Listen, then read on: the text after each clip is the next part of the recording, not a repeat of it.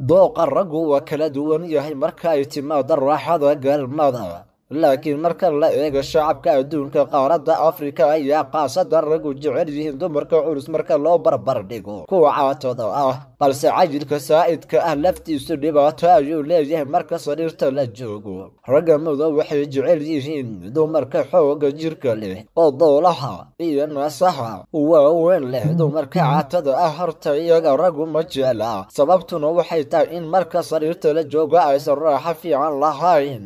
Qaybin oo galmada ka mid ah waa in aad ku raaxaysan kartaa jirka xaaska ama sayga dumarka aan hilibka lahayn oo lafahooda. Ay dibadda yaalaan way adag tahay in lagu raaxaysto jirkooda ragga caatada ah laftoodu waa la mid.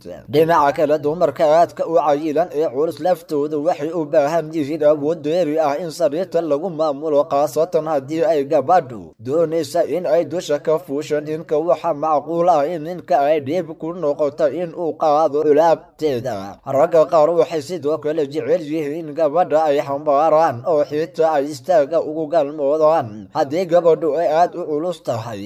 Dhinacyada galmada qaarkood ayaa laga yaaba in ay suurageli weydo sidoo kale ragga yaryar ayay ku adag tahay galmada dumarka cayilan oo laga yaaba in uu la gaari waayo. Wax kasta waxay ku fiican yihiin dhexdhexaadka galmaduna waxay ku macaan tahay. Gabadha culeyskeedu uu yahay mid dhexdhexaad ah oo aan saa'id ahayn isla markaana aan caato ahayn